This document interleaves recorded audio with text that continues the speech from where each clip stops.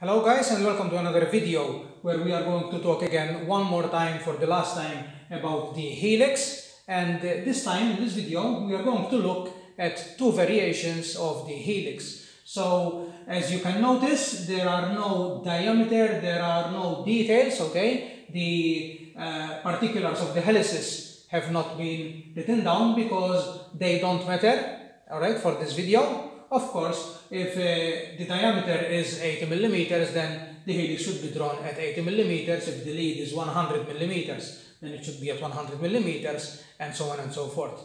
But what I'm talking about in this video is the first helix. We are going to draw what I like to call uh, a helix, which is like a ribbon, kind of, okay? And I have prepared this ruler, okay? I have marked line on this ruler. Hopefully you can see it from the camera. And this is a distance, a specified distance, which will be the thickness of what I like to call our um, ribbon.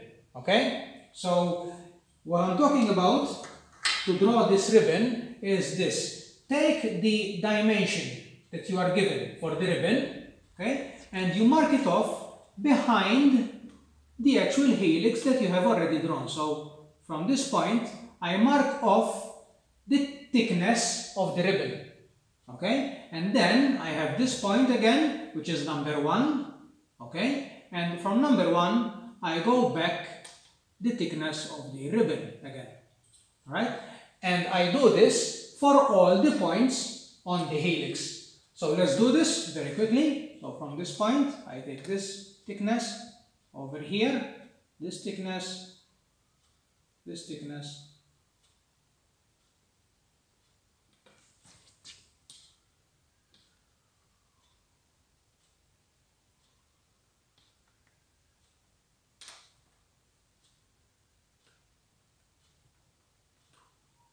As you notice, I kept going right out behind the lead, okay? So you don't stop with the lead, but you just keep going out.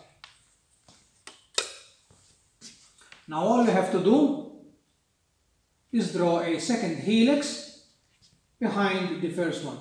It is going to look like it is almost like a shadow or a ghost of the first helix. I close it with a horizontal line, another horizontal line here, and one horizontal line over here.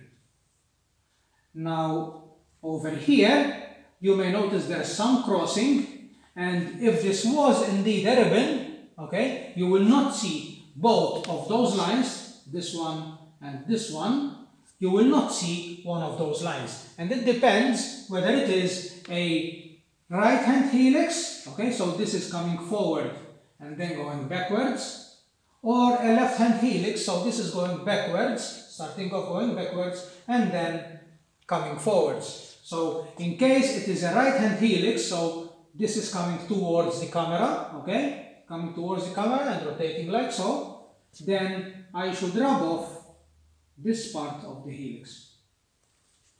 And there we have a kind of, looks like a ribbon, okay? Now that was the first one.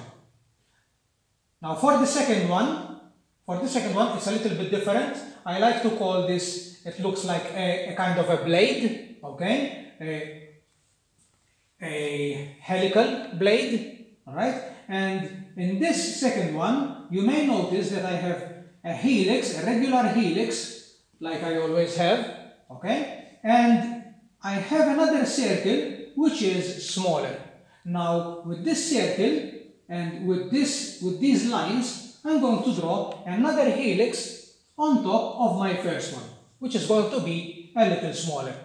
Okay? So now I'm going to match this number, but from here, from the small circle, with the number on the lead. Okay? So I have 0 here, that is here, and I have 0 here, so I have matched here uh, this point um, on the beginning of the helix. Now number 1, I start off from here, okay? So don't start off from the big circle, but start off from the smaller circle and match number 1 with number 1 okay, I have drawn the lines in red so that we can distinguish between the lines of the bigger helix and the lines of the smaller helix. And number one with number one, number two with number two, number three, okay, with number three, and so on and so forth. So I keep going, and this time we have to really be careful because we have a lot of lines and it is very easy to make a mistake and skip any of the points. There I have the second helix on top of it and this one when I draw the helix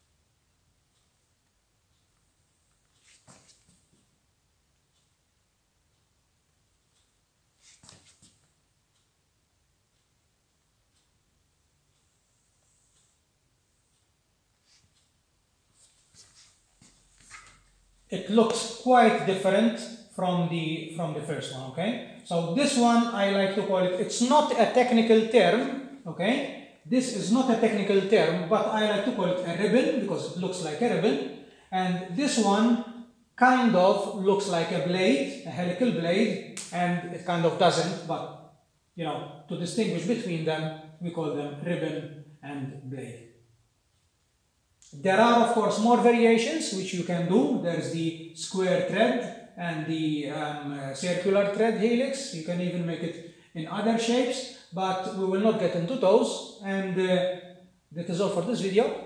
Thanks for watching. I hope you enjoyed it. And good luck.